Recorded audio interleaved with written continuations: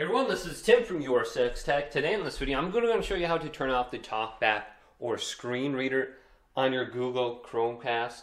And this is very easy to do. If we're on the home screen here, just press the home button and return to where it says for you. Then go on over to where the settings option is and then select this.